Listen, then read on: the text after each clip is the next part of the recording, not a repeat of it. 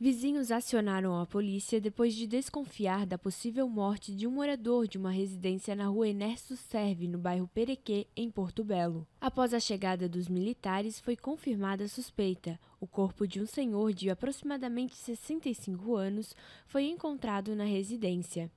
Os moradores próximos teriam notado a falta do idoso, que estava sempre no local conversando, e chamaram a polícia. Os familiares são de Blumenau e ele morava sozinho. Ainda segundo testemunhas, uma quantidade grande de moscas rondava perto da janela da casa, o que causou suspeita e motivou o acionamento da polícia.